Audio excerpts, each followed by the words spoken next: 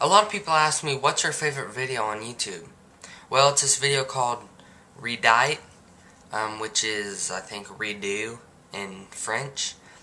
Um, it's by this user, Patrick Boivin.